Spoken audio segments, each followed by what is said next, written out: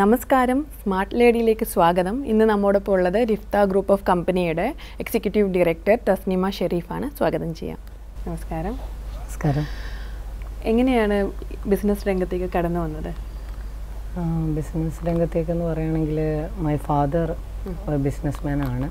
Actually P W ഡിയിൽ work ചെയ്തുകൊണ്ടിരിക്കുമ്പം ബിസിനസ്സിൽ കമ്പം കയറി അബ്രോഡ് പോയി ബിസിനസ് ചെയ്ത ഒരാളാണ് എന്റെ ഫാദർ. ജോലി റിസൈൻ ചെയ്ത് പോയതാണ്. പിന്നെ ആ ഒരു ആൻസിസ്ട്രൽ ഒറിജിൻ എന്നുള്ള രീതിയിൽ quality maybe it is there അതുകൂടാണ്ട് പിന്നെ ഞാൻ ചെയ്തത് ബിസിനസ് അഡ്മിനിസ്ട്രേഷനിൽ ആണ്. ആക്ച്വലി സയൻസ് ബാക്ക്ഗ്രൗണ്ട് ആയിരുന്നു എനിക്ക്. മെഡിക്കൽ സ്റ്റഡീസ് ഡിസ്കണ്ടിന്യൂ ചെയ്തു. പിന്നെ eventually I did B B A അതിന്റെ മേലെ മാസ്റ്റേഴ്സ് ചെയ്തു. അപ്പം പിന്നെ after that I got married husband businessman ആയിരുന്നു. മിഡിൽ ഈസ്റ്റിൽ is a nice business man അതിനുശേഷം എന്ന് പറഞ്ഞാൽ ഹസ്ബൻഡ് അവിടെ ബിസിനസ് ചെയ്യുന്നുണ്ട്. ഞാൻ ബാങ്ക് എംപ്ലോയി ആയിരുന്നു. സിൻഡിക്കേറ്റ് ബാങ്കിൽ ഇമ്മീഡിയറ്റ്ലി ആഫ്റ്റർ മൈ മാരേജ് ബാങ്കിൽ മാനേജറായിട്ട് ടച്ച് ചെയ്തിട്ടുണ്ട്. അപ്പം ബാങ്കിൽ ജോയിൻ ചെയ്തു. പ്രൊബേഷണറി അസിസ്റ്റന്റ് മാനേജറായിട്ടാണ് ജോയിൻ ചെയ്തത് ടു തൗസൻഡ് ടെന്നിൽ അത് കഴിഞ്ഞ് ലൈക്ക് പിന്നെ ഹസ്ബൻഡിന് നാട്ടിൽ ബിസിനസ് ചെയ്തുകൂടെ എന്നുള്ള ഒരു ഐഡിയ വന്നു പിന്നെ ഫാദറിനുള്ള ഒരു ബിസിനസ് ടച്ച് വെച്ചിട്ട് അത്യാവശ്യം ലാൻഡ് കാര്യങ്ങളൊക്കെ നാട്ടിലുണ്ടായിരുന്നു. അപ്പോൾ അങ്ങനെ വരുമ്പോഴത്തേക്കും ഞങ്ങൾക്ക് ഇപ്പം ഒരു വില്ലാസ് ചെയ്താൽ കൊള്ളാമെന്നുണ്ട് ആ രീതിയിൽ ആദ്യമായിട്ട് കൺസ്ട്രക്ഷനിലാണ് ഇറങ്ങിയത്. അപ്പം വില്ല പ്രൊജക്റ്റായിട്ട് എസ്റ്റാബ്ലിഷ് ചെയ്തില്ലെങ്കിലും അതിനൊരു ബ്രാൻഡ് നെയിം റിഫ്ത എന്നുള്ളൊരു ബ്രാൻഡ് വെച്ചുകൊണ്ട് ഞങ്ങൾ കുറച്ച് വീടുകൾ ചെയ്തു. അപ്പം ഒരു ഗോഡ്സ് ഗ്രേസും ഉണ്ട്. അത് ജനങ്ങൾക്ക് ഇഷ്ടപ്പെടുകയും ചെയ്തു. അപ്പോൾ അതിൽ ഞങ്ങൾ കണ്ടതെന്ന് വെച്ച് കഴിഞ്ഞാൽ ഞങ്ങൾക്ക് ഇപ്പം എനിക്കൊരു വീട് പണിയണമെങ്കിൽ എത്ര എത്ര നല്ല രീതിയിൽ ചെയ്യാൻ പറ്റും? എത്ര ക്വാളിറ്റി റീറ്റെയിൻ ചെയ്യാൻ പറ്റും? അതേ ലെവലിൽ ഒരു പ്രോഫിറ്റ് മോട്ടോ അല്ലാണ്ട് തന്നെ ക്വാളിറ്റിയിൽ ഇമ്പോർട്ടൻസ് കൊടുത്തുകൊണ്ട് ഒരു ബഡ്ജറ്റിൽ ചെയ്തു. അത് അതിന് കണക്കായിട്ട് ജനങ്ങൾ അത് ഇഷ്ടപ്പെട്ടു. ആ വീടുകൾ വലിയൊരു ഡീറ്റെയിൽഡ് പ്രോജക്റ്റ് അല്ലെങ്കിലും ചെയ്തത് വിജയിച്ചു എന്ന് തന്നെ പറയാം. അപ്പോൾ അതൊരു ഇൻസ്പിറേഷൻ ആയിരുന്നു. അത് കഴിഞ്ഞ് പിന്നെ ഞങ്ങളുടെ പ്രോജക്റ്റ് എന്ന് പറയുന്നത് റിഫ്ത ഹാളാണ് അപ്പോൾ റിഫ്ത ഹാൾ എന്ന് പറഞ്ഞു കഴിഞ്ഞാൽ ഈ ഭാഗത്ത് നല്ലൊരു ലാൻഡ് ഞങ്ങളുടെ കയ്യിലുണ്ടായിരുന്നു. അത് വച്ചപ്പോഴത്തേക്കും ജനങ്ങളുടെ അടുത്ത് ഒരു അഭിപ്രായം എടുത്തു. എന്താണ് ഞങ്ങൾക്ക് ഒരു കൊമേഴ്സ്യൽ കോംപ്ലക്സ് ചെയ്യണോ? അല്ലെങ്കിൽ വാട്ട് വി ക്യാൻ അപ്പോൾ ഇവിടെ മുമ്പ് ഉണ്ടായിരുന്ന ഒരു തിയേറ്റർ ആയിരുന്നു പ്രകാശ് തിയേറ്റർ എന്ന് പറഞ്ഞിട്ട്. അപ്പോൾ അതിന്റെ ഒരു ഡിമോളിഷ് ചെയ്ത ഒരു ലാൻഡാണ് ഞങ്ങൾ പർച്ചേസ് ചെയ്തത്. അപ്പോൾ ആ സമയത്ത് ജനങ്ങളിൽ ഒരു ജസ്റ്റ് ഒരു സർവേ കണ്ടക്ട് ചെയ്തപ്പം ഒട്ടുമുക്ക ജനങ്ങളും പറഞ്ഞത് ഞങ്ങൾക്ക് ഓഡിറ്റോറിയമാണ് വേണ്ടത് എന്നുള്ള രീതിയിൽ പറഞ്ഞു. അപ്പം പിന്നെ ഓഡിറ്റോറിയം ചെയ്യുമ്പോൾ എന്ന് പറഞ്ഞു കഴിഞ്ഞാൽ ഞങ്ങൾ ഞങ്ങളുടെ ഓൺ എക്സ്പീരിയൻസ് അതായത് എന്റെ മാരേജ് ആയാലും എന്റെ സിസ്റ്റേഴ്സിന്റെ മാരേജും കസിൻസ് അതിനൊക്കെ വേണ്ടിയിട്ട് ഞങ്ങൾ ഹോൾ അന്വേഷിച്ചു കണ്ണൂർ പ്രദേശത്ത് നടന്നപ്പം ഞങ്ങൾക്ക് എന്തൊക്കെ ഡിഫിക്കൽട്ടീസ് ഉണ്ടായി. ഇപ്പം എക്സാമ്പിൾ ഗ്രീൻ റൂം ഞാൻ ചില പേരെടുത്ത് പറയുന്നില്ല. ചില മാരേജ് ഓഡിറ്റോറിയം അന്വേഷിച്ചപ്പം അവിടുത്തെ ഗ്രീൻ റൂം ഫെസിലിറ്റി ഞങ്ങളത് ചെയ്തപ്പോഴത്തേക്കും അവിടെ ഫംഗ്ഷൻ ചെയ്തപ്പോഴത്തേക്കും കൺജസ്റ്റഡ് ആയ ഗ്രീൻ റൂം ഫെസിലിറ്റി കണ്ടു. പിന്നെ ഒരു ക്വാളിറ്റി ആയിട്ടുള്ള ഒരു ഒരു ടീം മാനേജ്മെന്റ് അവിടെ ഇല്ലാത്തതായിട്ടും. പിന്നെ ഒരു അങ്ങനെ ഒരുപാട് കെയർലെസ്നെസ് ഫീൽ ചെയ്തു. അപ്പം ഞങ്ങളിത് ഓഡിറ്റോറിയം ചെയ്യുന്ന കേട്ടപ്പോഴത്തേക്കും ഞങ്ങൾ ഒട്ടുമിക്ക ഓഡിറ്റോറിയങ്ങളും ഞങ്ങളുടെ എക്സ്പീരിയൻസും പിന്നെ ഞങ്ങൾ പോയി കണ്ടു. അതിൽ നിന്നൊക്കെ എന്തൊക്കെ കുറവുകളുണ്ട് അതൊക്കെ പരമാവധി പരിഹരിച്ചുകൊണ്ട് ഞങ്ങളുടെ അതെ പരിഹരിച്ചുകൊണ്ട് നികത്തിക്കൊണ്ട് ഞങ്ങളുടെ ഒരു ലെവലിൽ നിന്നുകൊണ്ട് ഞങ്ങളത് ചെയ്തു. പക്ഷേ ഒരുപാട് എടുത്തു കാലം എടുത്തു അതിന്. ഒരു നാലഞ്ച് വർഷത്തെ കഠിന പ്രയത്നം തന്നെ പറയാം. ഒരു ഫണ്ട് സ്വരൂപിക്കലായിക്കോട്ടെ ബാക്കിയുള്ള വർക്ക് കോർഡിനേഷൻ ആയിക്കോട്ടെ ഡിസൈൻസ് ആയിക്കോട്ടെ ഇന്റീരിയർ ആയാലും ഈവൺ എക്സ്റ്റീരിയർ പോലും ഞങ്ങളൊരു പത്ത് പതിനഞ്ചോളം സ്ട്രക്ചേഴ്സും കണ്ടിട്ട് ആർക്കിടെക്ചറൽ ഡിസൈൻ കണ്ടിട്ടാണ് ചൂസ് ചെയ്യുന്നത്. അപ്പോൾ അതിൽ ഒരു പേഴ്സണലൈസ്ഡ് വ്യൂ നിങ്ങൾക്ക് ഇതിലും കാണാൻ പറ്റും. ഇപ്പോൾ ഇവിടുത്തെ ഇന്റീരിയർ റിഫ്ത ഹാൾ പറയുകയാണെങ്കിൽ. അപ്പോൾ അത് കഴിഞ്ഞ് വന്നപ്പോഴത്തേക്കും ഞങ്ങൾ റിഫ്ത ഗ്രൂപ്പ് ഓഫ് കമ്പനി എന്ന് പറഞ്ഞ ഒരു എസ്റ്റാബ്ലിഷ്ഡ് ബ്രാൻഡാക്കി അതിന്റെ ഒരു കുടക്കയിലാണ് ഈ റിഫ്ത ഹോൾ അവതരിപ്പിച്ചത്. നല്ലൊരു ഹോംവർക്ക് ഉണ്ടായിരുന്നു റിയലി ഉണ്ടായിരുന്നു. ഉറപ്പായിട്ടും ഉണ്ടായിരുന്നു. അത് അതുപോലെ തന്നെ ഇപ്പം വൺ ഇയർ ആയി. വെരി ഹാപ്പി ഈ വൺ ഇയറിനുള്ളിൽ ഞങ്ങൾക്ക് നല്ല ഫങ്ഷൻസ് കിട്ടിയിട്ടുണ്ട്. ഓൾമോസ്റ്റ് എല്ലാവരും ഇഷ്ടപ്പെട്ടു. എപ്പോഴും ലൈക്സ് പറയും. ഇപ്പം എന്നെ കാണും. മുമ്പൊക്കെ എന്ന് പറഞ്ഞാൽ ബാങ്ക് എംപ്ലോയി അങ്ങനെയുള്ള രീതിയിൽ ഇന്നാളുടെ വൈഫാണ്. ഇന്നാളുടെ മകളാണ്. അതെ അതെ. ഒരു അക്കാഡമീഷ്യൻ ആയിട്ടാണ് എന്നെ എല്ലാവരും കാണാറ്. ഒരു ബാങ്ക് എംപ്ലോയി എന്ന് പറയുമ്പോൾ ജനങ്ങൾക്ക് ഒരു സീരിയസ് ആയിട്ടുള്ള ഒരു ബാങ്ക് പ്രൊഫഷണൽ ആയിട്ടാണ് കാണാറ്. പക്ഷേ ഞങ്ങൾ ഈ ഹോൾ ചെയ്തപ്പോഴത്തേക്കും എനിക്കൊരു ഐഡന്റിറ്റി വന്നു. റിഫ്ത ഹോളിന്റെ മാഡം അല്ലേ അതിന്റെ ഓണർ അല്ലേ തുടങ്ങി. ഇഷ്ടമാണ് റിഫ്ത. ഈവൺ ഞാൻ ഇത് പറയുന്നല്ല ഞാൻ ഞങ്ങൾ ഒത്തിരി ട്രാവൽ ചെയ്യുന്ന ആൾക്കാരാണ്. അപ്പം ഈവൺ ഔട്ട് ഓഫ് സ്റ്റേറ്റ് പോയപ്പോഴും ഒരു ട്രെയിനിൽ വെച്ചിട്ട് എന്റെ ഒരു എന്റെ കൂടെ യാത്ര ചെയ്യുന്ന ഒരു ലേഡി നിങ്ങൾ ഇന്ന മാഡം അല്ലേ? എന്ന് ചോദിച്ചപ്പോൾ ഞാൻ ശരിക്കും പറഞ്ഞാൽ വണ്ടർ അടിച്ചു. അപ്പോൾ അവർ പറഞ്ഞു വെച്ചാൽ ഈ ഇത്തരം വീഡിയോസ് കണ്ടിട്ടുണ്ട്. മാഡത്തിന്റെ ഹോൾ ഞാൻ കണ്ടിട്ട് നന്നായിട്ടുണ്ടായിരുന്നു. അവളെ അവരെ അപ്രീസിയേറ്റ് ചെയ്തു. ജനങ്ങളിൽ നിന്ന് ഇങ്ങനെ ഒരു ഫീഡ്ബാക്ക് കിട്ടുമ്പോൾ നമ്മൾ ഭയങ്കരമായിട്ട് സന്തോഷമുണ്ട്. കാരണം നമ്മൾ ഈ ചെയ്ത വർക്ക് മൊത്തം അവരിലേക്ക് എത്തി. പ്രോത്സാഹനം തരുന്നു ഭയങ്കര സാറ്റിസ്ഫാക്ഷൻ ആണല്ലേ അത് അതിൽ പരം വേറെ സന്തോഷം നമ്മൾ ചെയ്ത നമ്മൾ ചൂസ് ചെയ്ത ആ ഒരു ഒരു വേ വളരെ നന്നായി അതിനകത്ത് ശോഭിക്കാൻ. പറ്റി എന്നുള്ളത് ഭയങ്കര ആത്മസംതൃപ്തി തരുന്ന ഒരു അതെ അത് അത് അതിന് മുമ്പായിട്ട് ഞങ്ങളൊരു വി എൽ സി സിയുടെ ഫ്രാഞ്ചൈസി ചെയ്തിട്ടുണ്ടായിരുന്നു. അത് ഈ വില്ല പ്രോജക്റ്റ് ചെയ്ത് ഈ റിഫ്തയിലേക്ക് വരുന്നതിന്റെ ആ ഒരു കാലയളവിൽ എന്റെ ഒരു ഫ്രീ ടൈം ഒരു ഫ്രാഞ്ചൈസി ഓണർഷിപ്പ് കിട്ടിയായിരുന്നു Kannur V L C C അപ്പോൾ അതൊരു എന്റെ ഡിഫറെന്റ് ഫീൽഡാണ് because being a Muslim lady ഒരു സലൂൺ മാനേജ് ചെയ്യുക അപ്പോൾ അത് എന്റെ ഫാദറും വീട്ടിലുള്ളവർക്കൊക്കെ അതിലേക്ക് ഇറങ്ങുമ്പോൾ ഒരു ചെറിയ ടെൻഷൻ ഉണ്ടായിരുന്നു. ബിക്കോസ് നമ്മുടെ ഇമേജ് ഡിമിനിഷ്ഡ് ആവോ? അല്ലെങ്കിൽ നമുക്ക് ശരിക്കും പറഞ്ഞാൽ അത് എത്തിക്കലായിട്ട് ഫോളോ ചെയ്യാത്ത ഒരുപാട് ആൾക്കാർ ഉണ്ട്. ബട്ട് ബ്യൂട്ടി എന്ന് പറയുമ്പം everybody likes everybody has to grow ആ രീതിയിൽ വരും. അപ്പം ഞാൻ ആ രീതിയിൽ തന്നെ എനിക്ക് തോന്നുന്നു three two four years V L C C Kannur നന്നായിട്ട് മാനേജ് ചെയ്തു തന്നെയാണ് എന്റെ വിശ്വാസം. അപ്പോൾ അതിൽ കൂടിയുള്ള എക്സ്പീരിയൻസ് പിന്നെ റിഫ്ത ഹാൾ വന്നപ്പോഴേക്കും ഞാനൊരു റിഫ്ത ബ്യൂട്ടി ക്ലിനിക് എന്നുള്ള രീതിയിലേക്ക് എന്റെ അവിടുത്തെ എക്സ്പീരിയൻസ് ഞാൻ ക്യാച്ചപ്പ് ചെയ്തുകൊണ്ട് അങ്ങനെ ഒരു ലെവലിലേക്ക് കൊണ്ടുവന്നു. അപ്പോൾ റിഫ്ത ഹാളിൽ വരുന്ന ക്ലയൻസിനായാലും നമുക്കൊരു ബ്രൈഡൽ മേക്കപ്പ് കൊടുക്കണമെങ്കിലും റിഫ്ത ഇവിടെ നിങ്ങൾക്ക് കാണാം. ഗ്രീൻ റൂമൊക്കെ റിഫ്ത ബ്രൈഡൽ സ്റ്റുഡിയോ അങ്ങനെയാണ് കൊടുത്തിരിക്കുന്നത്. ഇപ്പം റിഫ്തയുടെ മുകളിലത്തെ seating arrange Rifta gallery Rifta multipurpose hall ഞങ്ങളുടെ മെയിൻ ഹോൾ വന്നിട്ട് റിഫ്ത ലൈറ്റ് അപ്പോൾ എവിടെയും ഒരു ബ്രാൻഡ് കൊണ്ടുവരാൻ ശ്രമിച്ചിട്ടുണ്ട്. അതുപോലെ തന്നെ മാക്സിമം റിഫ്തയിൽ നിന്ന് തന്നെ എല്ലാം കിട്ടട്ടെ എന്നുള്ള രീതിയിൽ. ഒരു കുടക്കീഴിൽ തന്നെ ഇപ്പോൾ ഇവിടെ ജസ്റ്റ് ഹോൾ മാത്രം കൊടുക്കുന്നതിനുപരി ബാക്കിയുള്ള auxiliary services even even management tie ഉണ്ട് നിങ്ങൾക്ക്. അപ്പോൾ ആ രീതിയിൽ ഇപ്പോൾ കാറ്ററിംഗ് ആയിക്കോട്ടെ ഫ്ലോറൽ ഡെക്കറേഷൻ ആയിക്കോട്ടെ ഒപ്പം ബ്രൈഡൽ ബ്രൈഡൽ ക്ലിനിക്ക് എന്ന് തന്നെ പറയാം. ആ രീതിയിലൊരു കൺസെപ്റ്റ് ഒറിജിനേറ്റ് വരുന്നേ ഉള്ളൂ. അതിനൊരു പ്ലാൻ വർക്ക് ചെയ്തുകൊണ്ടിരിക്കുന്നുണ്ട് പിന്നീട് ആ ഒരു എക്സ്പീരിയൻസ് ഈ വൺ ഇയർ ഒരു എക്സ്പീരിയൻസിന് ശേഷം പിന്നെ ഞങ്ങൾ ആലോചിച്ചത് ഞങ്ങളുടെ കൈവശം ഏതൊക്കെ ലാൻഡ് ഉണ്ട് അവിടെയൊക്കെ എന്തൊക്കെ ചെയ്യാൻ പറ്റും. അപ്പോഴാണ് നാഷണൽ ഹൈവേ ഞങ്ങൾക്ക് താഴ്ച കുറച്ചൊരു പ്ലോട്ട് ഉണ്ടായിരുന്നു പിന്നീട് മനസ്സിലായെന്ന് വെച്ച് കഴിഞ്ഞാൽ ഇപ്പോൾ അടുത്ത കാലത്തായിട്ട് ടർഫ് എന്നുള്ള ഒരു ഒരു ഫുട്ബോൾ ടർഫ് എന്നുള്ള ഒരു ഒരു ഒരു വൈബായി വന്നിട്ടുണ്ട്. അപ്പം എന്തുകൊണ്ട് ഞങ്ങൾക്ക് ഇവിടെ ഇപ്പം കണ്ണൂർ തന്നെ കുറച്ച് ടർഫ്സ് ഉണ്ട്. പക്ഷേ നാഷണൽ ഹൈവേയിൽ ഒരു കാച്ചി ആയിട്ടുള്ള ഒരു സൈറ്റിൽ ഒരു ടർഫ് ചെയ്തുകൂടെ എന്നുള്ള ആലോചന വന്നു. അതിന് ശരിക്കും പറഞ്ഞു കഴിഞ്ഞാൽ ഒരു ഫുട്ബോൾ മാജിക്കായിട്ട് കാണുന്ന ഒരു പറ്റം സുഹൃത്തുക്കളുണ്ടായിരുന്നു.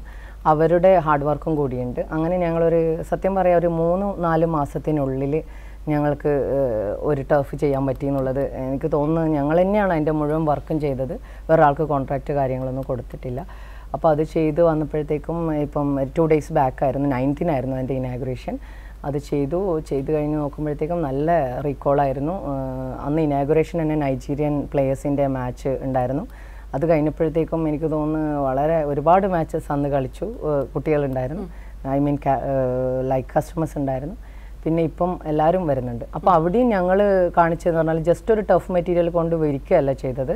ഞങ്ങളത് നല്ല രീതിയിൽ ടഫിനെ കുറിച്ച് പഠിച്ചു. ഇറ്റാലിയൻ മെയ്ഡ് ആയിട്ടുള്ള ബ്രാൻഡ് ടഫ് തന്നെ യൂസ് ചെയ്തു. മാത്രമല്ല ടർഫ് വിരിക്കുന്നതിന് മുമ്പ് ഒരുപാട് ലാൻഡ്സ്കേപ്പ് കാര്യങ്ങൾ അതായത് റബ്ബർ മാറ്റ് അങ്ങനത്തെ കുറേ കാര്യങ്ങൾ വെച്ചുകൊണ്ട് ഈവൻ കളിക്കടയിൽ വീണ് പോയാൽ പോലും ഒരു ഇഞ്ചുറി പറ്റാൻ പാടില്ല. നമ്മളൊരു ആർട്ടിഫിഷ്യൽ ഗാർഡൻ എന്നുള്ള രീതിയിൽ ആർട്ടിഫിഷ്യൽ ഗ്രാസ് ആണ് എന്നുള്ളതിന്റെ അപ്പുറത്ത് ഒരു ക്വാളിറ്റി നമ്മൾ അതിൽ മെയിന്റെയിൻ ചെയ്തിട്ടുണ്ട്. അതിപ്പം അവിടെ കളിച്ച കുട്ടികളുടെ അടുത്ത് നമുക്ക് ഫീഡ്ബാക്ക് എടുത്തു കഴിഞ്ഞാൽ ദേ വിൽ ടെൽ ഒരു ഫാന്റാസ്റ്റിക് എക്സ്പീരിയൻസ് ആണ്. പിന്നെ ആ ടെർഫ് മാത്രമായിട്ട് വെക്കാണ്ട് ഞങ്ങൾ അവിടെ ലൈവ് സ്ക്രീൻ കൊടുത്തു. അവരുടെ കളികൾ റെക്കോർഡ് ചെയ്യാൻ വേണ്ടിയിട്ട്. അതുപോലെ തന്നെ മ്യൂസിക് സിസ്റ്റം ഉണ്ട്. അവർക്കൊരു എൻകറേജ്മെന്റിന് പിന്നെ ഒരു മാംഗോ ഷവറിന് വേണ്ടിയിട്ട് വാട്ടർ സ്പ്രിങ്ക്ലേഴ്സ് ചെയ്തിട്ടുണ്ട്. കളിയുടെ ബ്രേക്കിൽ ഒരു മഴയുടെ അനു അനുഭൂതി ഉണ്ടാക്കാൻ വേണ്ടിയിട്ട്. പിന്നെ ഗാലറി ഉണ്ട്. കളി മറ്റുള്ളവർക്കും കാണാൻ വേണ്ടിയിട്ടുള്ള ഗാലറി സീറ്റിംഗ് ചെയ്തിട്ടുണ്ട്. പിന്നെ അവിടെ തന്നെ റിഫ്തയുടെ ഒരു juice corner Riftha's juice world പറഞ്ഞിട്ട് സ്നാക്സും മറ്റുള്ള കോൾഡ് ഡ്രിങ്ക്സും ഹോട്ട് ആൻഡ് കൂൾ വെച്ചിട്ടുണ്ട്. പിന്നെ അതൊരു സ്പോർട്സ് അരീനയായിട്ട് ബാക്കിയുള്ള സ്പോർട്സ് മെറ്റീരിയലും കൂടി കൊണ്ടുവരാൻ വേണ്ടിയിട്ട് ഞങ്ങൾ ശ്രമിക്കുന്നുണ്ട്. അത് അടുത്ത് തന്നെ ചെയ്യാൻ പറ്റുമെന്നാണ് എന്റെ വിശ്വാസം. അങ്ങനെ സ്പോർട്സ് പ്രോജക്റ്റ് ഇപ്പം അങ്ങനെയാണുള്ളത്.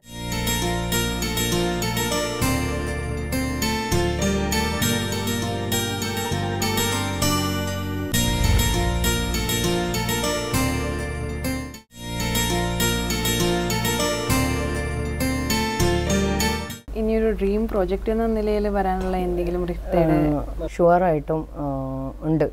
ഡ്രീം ഉണ്ട് എന്ന് വെച്ചാൽ ഏതൊരു ബിസിനസ് സംരംഭകർക്കുള്ള പോലെ ഡ്രീംസ് ഉണ്ട്. ഞങ്ങൾ ചെയ്തു വരുന്നതേ ഉള്ളൂ. ലൈക്ക് കൂടുതൽ ഞാൻ പറയുന്നില്ലെങ്കിൽ കൂടി ഒരു മോൾ ചെയ്യാനുള്ള താല്പര്യമുണ്ട്. റിഫ്ത മോൾ എന്നുള്ള രീതിയിൽ ഒരു കൺസെപ്റ്റ് അതൊരു വെറൈറ്റി ആയിരിക്കാം. പിന്നെ റിഫ്തിയുടെ തന്നെ ഒരു മെഡിക്കൽ ഇനീഷ്യേഷൻ വരാൻ പോകുന്നുണ്ട്. വിത്തിൻ ഐ ഹോപ്പ് ഒരു ത്രീ മന്ത്സിനുള്ളിൽ വരും. അതൊരു ഡിഫറെന്റ് ഒരു ഹോസ്പിറ്റലല്ല എന്ന് വെച്ചാൽ ഒരു ക്ലിനിക്കും അല്ല. ആ രീതിയിലുള്ള ഒരു പ്രോജക്റ്റാണ് റിഫ്ത മാത്രമല്ല ഞങ്ങളുടെ മറ്റുള്ള പാർട്ട്നേഴ്സും കൂടി അതിന്റെ അകത്ത് വരുന്നുണ്ട്. പിന്നെ ബാക്കിയുള്ള ഓരോ പ്രോജക്ട്സ് തന്നെ സ്പോർട്സ് തന്നെ കുറച്ചുകൂടെ എലാബറേറ്റ് ആയിട്ട് ഒരു ഇൻഡോർ രീതിയിൽ ചെയ്യാനുള്ള പദ്ധതികളുണ്ട്. തീർച്ചയായിട്ടും ബിസിനസ്സിൽ തന്നെ കാൽവെച്ചു അതിൽ തന്നെ അങ്ങോട്ട് മുന്നോട്ട് പോകാൻ തന്നെയാണ് താല്പര്യം. അതിന് കണക്കായിട്ട് ബാക്കിയുള്ള സപ്പോർട്ട്സ് പറയുകയാണെങ്കിൽ ഒരു ബിസിനസ്മാനായ എന്റെ ഹസ്ബൻഡും അതുപോലെ തന്നെ ആൻസിസ്ട്രൽ ബിസിനസ് കൊണ്ടുനടക്കുന്ന എന്റെ ഫാദറും ബാക്കിയുള്ള എല്ലാവരും നല്ല സപ്പോർട്ടാണ് ഒരു ലേഡി എന്നുള്ള രീതിയിൽ മോളെ എനിക്ക് ബിസിനസ് പറ്റില്ല നീ അങ്ങനെ എക്സ്പോസ്ഡ് ആവരുത് അങ്ങനെ ഒരു റെസ്ട്രിക്ഷൻ എനിക്ക് തന്നിട്ടില്ല. തീർച്ചയായിട്ടും തീർച്ചയായിട്ടും. ഹസ്ബൻഡും ഫാദറും ഒക്കെ നല്ല സപ്പോർട്ടാണ്. പിന്നെ എനിക്കൊരു ആരാണ് ആദ്യമായിട്ട് ബിസിനസ്സിലേക്ക് വന്നാൽ ശോഭിക്കുമെന്ന് പറഞ്ഞത് ആരാണ്? അതിപ്പോഴും ഞാൻ ഓർക്കുന്നത് ഫാമിലിയിലാണെങ്കിൽ ഫാദറൊക്കെ എന്നെ ഒരു ഡോക്ടറായി കാണാൻ ആഗ്രഹിച്ചതാണ്. മൂത്ത മകളാണ് ഞാൻ എന്റെ ഫാമിലിയിൽ. പിന്നെ എന്റെ സിസ്റ്റർ വന്നിട്ട് എഞ്ചിനീയറിംഗ് ആഗ്രഹിച്ചു. അവൾ എഞ്ചിനീയറിംഗ് കംപ്ലീറ്റ് ചെയ്തു. ബട്ട് എനിക്ക് ഫാദറിന്റെ എന്റെ പാരൻസിന്റെ ഡ്രീം എന്നെ ഒരു ഡോക്ടറായി കാണാനായിരുന്നു. അതിന് അവർ എന്നെ മെഡിക്കൽ കോളേജ് വരെ എത്തിച്ചു. ബട്ട് ചില കാരണങ്ങളാണ് ഞാൻ അതൊരു ഡിസ്കണ്ടിന്യൂ ചെയ്തു. പിന്നീട് വരികയാണെങ്കിൽ ലൈക്ക് പിന്നീടാണ് ആ ഒരു കോഴ്സ് ഒരു ഇയർ നഷ്ടപ്പെടാണ്ടെന്ന് വിചാരിച്ചിട്ട് ബി ബി എ ചെയ്തതാണ്. ബട്ട് അത് ചെയ്തു വന്നപ്പോഴത്തേക്കും അതിനൊരു ടോപ്പറായി കോളേജ് ടോപ്പറായിരുന്നു കണ്ണൂർ യൂണിവേഴ്സിറ്റിയുടെ അത് കഴിഞ്ഞ് പിന്നെ P G next P G ആണല്ലോ. ആ രീതിയിൽ പി ജി ചെയ്തു. അത് ചെയ്തു വന്നപ്പോഴത്തേക്കും പിന്നെ എന്റെ ഹസ്ബൻഡാണ് ബിസിനസ് നാട്ടിൽ ഈ നിങ്ങൾ എം ബി എ ചെയ്തു ബാങ്കിൽ വർക്ക് ചെയ്യുന്നു. നമുക്ക് എന്തുകൊണ്ട് നമ്മുടെ ഓൺ ബിസിനസ് ഒന്ന് ചെറിഷ് ചെയ്തുകൂടാ? ആ ഒരു ഇത് വന്നു. ചെയ്തു വന്നപ്പോഴത്തേക്കും ഫാദറിനൊക്കെ നല്ല മോക്ക് മോൾക്ക് ചെയ്യാൻ പറ്റും എന്നുള്ള ഒരു കോൺഫിഡൻസ് തന്നു. പിന്നെ ഒരു ലേഡി എന്നുള്ള രീതിയിൽ ഒരു വിമൻ എന്നുള്ള രീതിയിൽ ഒരു ബാരിയറും എനിക്ക് ഉണ്ടായിട്ടില്ല. പിന്നെ എനിക്ക് ഇഷ്ടപ്പെട്ടത് നമ്മളൊരു ഹാർട്ട് ഫെൽറ്റ് ആയിട്ട് ഒരു കാര്യം പറഞ്ഞു കഴിഞ്ഞാൽ കൺവിൻസ് ചെയ്യാൻ പറ്റുന്നുള്ളത് എനിക്ക് തോന്നുന്നു എന്റെ ആ ഒരു സ്ട്രെങ്ത് എനിക്ക് എപ്പോഴും കൂട്ടു നിന്നിട്ടുണ്ട്. പിന്നെ ഒരു ബോൾഡ് ഒരു ബോൾഡ് ലേഡിയാന്നുള്ള രീതിയിൽ പലരും പറയാറുണ്ട്. എവിടെയും വെട്ടിത്തുറന്ന് പറയാൻ പറ്റാറുണ്ട്. ആ ഒരു സ്വാതന്ത്ര്യം സ്വയം തോന്നിയിട്ടുണ്ട്. തോന്നിയിട്ടുണ്ട്. പിന്നെ ഒരു ഡിറ്റർമിനേഷൻ ആണ്. ചില കാര്യങ്ങൾ ഞങ്ങൾ പെട്ടെന്ന് ഡിസിഷൻ എടുക്കും. ഒരു എന്ത് ഒരു പർച്ചേസ് ആയിക്കോട്ടെ ഇനിയിപ്പം ഒരു പ്രോജക്റ്റ് ഇന്നത് ചെയ്യണം. ഒരുപാട് നാൾ ആ ഒരു മോഹം വെച്ചിരിക്കില്ല. അത് ഏത് ബഡ്ജറ്റിൽ തീർക്കണം എന്നുള്ളത് ഇപ്പം ഞാനും ഹസ്ബൻഡായാലും ഫാദർ ആയാലും എല്ലാം കൂടിയിരുന്ന് ആലോചിച്ചിട്ടാണ് തീരുമാനം എടുക്കുന്നത്. അപ്പോൾ പെട്ടെന്ന് ഒരു ഡിറ്റർമിനേഷൻ എന്നുള്ള രീതിയിൽ പെട്ടെന്ന് ഒരു ഡിസിഷൻ എടുക്കും. പിന്നീട് എനിക്ക് തോന്നുന്നത് ഫാദറും ഹസ്ബൻഡും തന്നെയാണ്. ഒരു റൈറ്റ് ആൻഡ് ലെഫ്റ്റ് ആയിട്ട് എനിക്ക് നല്ല സപ്പോർട്ട് തന്നത്. പിന്നെ അതൊക്കെ ഫീഡ്ബാക്ക് തരാൻ എന്റെ സിസ്റ്റേഴ്സ് ആയാലും എനിക്കൊരു കുഞ്ഞു ബ്രദർ ഉണ്ട്. അവന് എം ബി ബി എസിന് പഠിക്കുകയാണ്. അപ്പോൾ ആ ഒരു സപ്പോർട്ട് അവനെല്ലാം റിവ്യൂ ചെയ്ത് പറഞ്ഞു തരും. അവനൊക്കെ ഞാൻ പലപ്പോഴും തോന്നാറുണ്ട്. പിന്നെ എന്റെ മകളായിക്കോട്ടെ സിക്സ്ത്തിലാണ് പഠിക്കുന്നത് കെ വിയിലാണ് കണ്ണൂർ. റിഫ്ത അവളാണ് റിഫ്ത നമ്മുടെ ബ്രാൻഡ് നെയിം വന്നിരിക്കുന്നത് മകളുടെ പേരാണ് ആ എക്സാക്ട്ലി അവൾ ശരിക്കും പറഞ്ഞാൽ റിഫ്ത എന്നുള്ള നെയിം വന്നിരിക്കുന്നത് ഷെറീഫ് എന്നുള്ള എന്റെ ഹസ്ബൻഡ് ആർ ഐ എഫും അതുപോലെ തന്നെ തസ്നീമയുടെ ഒരു തായും ചേർത്തുകൊണ്ടാണ് റിഫ്ത. അത് ഞങ്ങൾ മകൾക്കിട്ട പേരാണ്. പിന്നീട് ഞങ്ങൾ യെസ് ബിസിനസ്സിലേക്ക് വന്നപ്പോഴേക്കും വേറെ എന്തിനാ വേറൊരു പേര് റിഫ്ത എന്ന് പറഞ്ഞു. പിന്നെ ഞങ്ങളുടെ ഏത് പ്രോജക്റ്റിലും മകൾക്കൊരു വലിയ റോളുണ്ട്. കാരണം അവൾ തന്നെയാണ് അത്യാവശ്യം നെയിംസ് ചൂസ് ചെയ്യുന്നത്. ഇപ്പം ടേഫ് തന്നെ ആയിക്കോട്ടെ ഗോൾഡൻ ഗോൾ എന്നുള്ള നെയിം ചൂസ് ചെയ്തതും where passion meets the pride അതാണ് ഞങ്ങളുടെ ക്യാപ്ഷൻ അതും സെലക്ട് ചെയ്തത് മകളാണ്. പിന്നെ അത്യാവശ്യം എല്ലാ ഇനാഗുറേഷനും അവളൊരു സാന്നിധ്യമായിരിക്കും. നിറ സാന്നിധ്യമായിരിക്കും. അപ്പം എനിക്ക് തോന്നുന്നു അവളും ഞങ്ങളുടെ ഒരു ലക്കാണ് പിന്നെ എല്ലാത്തിലും ഈവൺ അവൾ ലെവൻ ഇയേഴ്സേ ആയിട്ടുള്ളൂ. She is the only one of us അപ്പം അതിൽ അവളെ ഒപ്പീനിയനും ഞങ്ങൾ എടുക്കാറുണ്ട്. ഷീ വിൽ ടെൽ സ്പേസ് കൊടുത്തുകൊണ്ട്. തീർച്ചയായിട്ടും തീർച്ചയായിട്ടും. അപ്പം ഫാമിലി തന്നെയാണ്. എനിക്ക് പറയാനുള്ളത് ഫാമിലിയാണ് പിന്നെ ഞങ്ങൾ ചെയ്ത പ്രോജക്റ്റ് ഹോൾ ഹാർട്ടഡ്ലി ആക്സെപ്റ്റ് ചെയ്ത ആ ഒരു കമ്മ്യൂണിറ്റി കണ്ണൂറിയൻസ് അല്ലെങ്കിൽ കേരളൈറ്റ് ആ രീതിയിൽ നല്ല റിവ്യൂസ് തരുന്നത് ഇനിയിപ്പോൾ ഒരു നെഗറ്റീവ് ഫീഡ്ബാക്ക് ഉണ്ടായാലും അത് ഓപ്പണായിട്ട് പറയാൻ ഒത്തിരി ആൾക്കാരുണ്ടായിട്ടുണ്ട്. കുടുംബത്തിലല്ലാണ്ട് തന്നെ ചുറ്റുവട്ടത്തുള്ള ആൾക്കാരായാലും എന്റെ ഫ്രണ്ട് സർക്കിളായാലും അതൊക്കെ എൻകറേജ്മെന്റ് ആയിട്ട് എടുക്കുന്നുള്ളൂ. പിന്നെ റിഫ്തയുടെ ഓരോ കാൽവെപ്പും നല്ല ശ്രദ്ധയോടെ ആയിരിക്കും കരുതലോടെ ആയിരിക്കും. ബട്ട് ഇതിലുള്ള എക്സ്പീരിയൻസ് ഒക്കെ ഈവൺ എന്തായാലും ഉണ്ടാവും പ്ലസ് ആൻഡ് മൈനസ് എല്ലാത്തിനും. അതൊക്കെ കവറപ്പ് ചെയ്തുകൊണ്ടായിരിക്കണം അടുത്ത ലെവലിൽ എന്നുള്ളത് തിങ്ക് ചെയ്യുന്നുണ്ട് ഈ പുതിയതായിട്ട് ബിസിനസ് രംഗത്തോട്ട് വരാൻ ആഗ്രഹിക്കുന്ന വനിതകൾക്ക് എന്ത് ഒരു അഡ്വൈസ് കൊടുക്കാം? അല്ലെങ്കിൽ എന്തെങ്കിലുമൊക്കെ ഒരു ടിപ്സ് കൊടുക്കാനുണ്ടാവുമല്ലോ? എന്താണത്?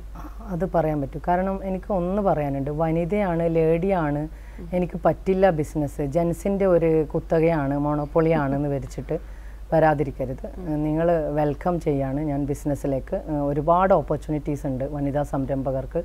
ഇനിയിപ്പം റിഫ്തയുടെ കൂടെ ഒന്ന് ജോയിൻ ചെയ്ത് പുതിയ സംരംഭകർക്ക് നമ്മളൊരു ഇനീഷ്യേഷനും കൂടി കൊടുക്കുന്നുണ്ട്. വിമൻ എംപവർമെന്റിന്റെ ഭാഗമായിട്ട്. അപ്പം ആ രീതിയിൽ വനിതകളോടത്ത് എനിക്ക് പറയാനുള്ളത് you are most welcome to the business it's a wonderful field നിങ്ങൾക്ക് ഒരുപാട് നേട്ടങ്ങൾ ഉണ്ടാക്കാൻ പറ്റും. ഒരുപാട് സ്ഥായിയായിട്ടുള്ള ഒരുപാട് സ്ഥാനമാനങ്ങൾ നിങ്ങൾക്ക് തീർച്ചയായിട്ടും ബിസിനസ്സിലൂടെ ഉണ്ടാക്കാൻ പറ്റും എന്നാണ് എനിക്ക് പറയാനുള്ളത്. ഒരു ബാരിയറും ഇല്ല. വനിതകൾ പുരുഷന്മാർ എന്നുള്ള രീതിയിൽ ബിസിനസ്സിൽ ഒരു ബാരിയറും ഇല്ല. നമ്മൾ കസ്റ്റമർ ഫ്രണ്ട്ലി ആയിട്ട് ക്വാളിറ്റി റിട്ടേൺ ചെയ്ത് ഒരു സർവീസ് ആയിക്കോട്ടെ പ്രോഡക്റ്റ് ആയിക്കോട്ടെ ഒന്ന് ചെയ്യുകയാണെങ്കിൽ അത് വൃത്തിയായിട്ട് ചെയ്യുക. കസ്റ്റമേഴ്സിനെ കസ്റ്റമേഴ്സിനെ ഫ്രണ്ട്ലി ആക്കിക്കൊണ്ട് ഞങ്ങളുടെ അനുഭവങ്ങൾ വെച്ചുകൊണ്ട് ക്വാളിറ്റി റിട്ടേൺ ചെയ്ത് ഒരു ബിസിനസ് കൊണ്ടുവരാണെങ്കിൽ അതൊരു റീറ്റെയിലിംഗ് ആയിക്കോട്ടെ ഒരു മാനുഫാക്ചറിങ് ആയിക്കോട്ടെ ഈവൻ സർവീസ് പ്രൊവൈഡർ ആയിക്കോട്ടെ എനിത്തിങ് നമ്മൾ സക്സസ് ആയിരിക്കും. അത് ഫസ്റ്റ് ലെവൽ ആദ്യത്തെ ഒരു റീച്ച് ആയില്ലെങ്കിലും നെക്സ്റ്റ് ലെവലിൽ ഞങ്ങൾ അത് കറക്റ്റ് ഇത് റിട്ടേൺ ചെയ്ത് കൊണ്ടുപോകണമെങ്കിൽ it will be a grand success അതുകൊണ്ട് നല്ലൊരു ഫീൽഡാണെന്നേ ഞാൻ പറയുന്നുള്ളൂ. റിസ്ക് ഉണ്ടോയെന്ന് വെച്ച് കഴിഞ്ഞാൽ നമ്മൾ റിസ്ക് ടേക്കേഴ്സാണ് ബട്ട് നമ്മൾ എന്ന് വെച്ചാൽ അതിനനുസരിച്ച് നിൽക്കുകയാണെങ്കിൽ തീർച്ചയായിട്ടും ബിസിനസ്സിൽ നല്ല ഉയർച്ച ഉണ്ടാവും. ഒരുപാട് വനിതകൾ മുന്നോട്ട് വരണം. ഒരുപാട് ലേഡി സംരംഭകരെ കുറിച്ച് എനിക്കറിയാം. ഒത്തിരി പേർക്ക് ഒരുപാട് അവസരങ്ങളുണ്ട്. എസ്പെഷ്യലി നമ്മളെ കണ്ണൂർ എമേർജിങ് ആണ്. ഇപ്പം എയർപോർട്ട് കൂടി വന്നതോടുകൂടി ടൂറിസം മേഖലകളിൽ ഒരുപാട് ഓപ്പർച്യൂണിറ്റീസ് ഉണ്ട്. അപ്പം നല്ലൊരു മേഖലയായിട്ടാണ് ഞാൻ ബിസിനസ്സിനെ പറയുന്നുള്ളൂ. എന്റെ റിഫ്ത ഗ്രൂപ്പിന്റെ അനുഭവം എന്ന് പറയുന്നത് നല്ലൊരു പോസിറ്റീവായിട്ടുള്ള ഒരു അപ്രോച്ച് മാത്രമേ ഉള്ളൂ. അപ്പോൾ ഇത്രയും നേരം നമ്മളോട് സംസാരിച്ചത് റിഫ്ത ഗ്രൂപ്പ് ഓഫ് കമ്പനിയുടെ മാനേജ് എക്സിക്യൂട്ടീവ് ഡയറക്ടർ തസ്നീമ ഷെരീഫാണ് നന്ദി.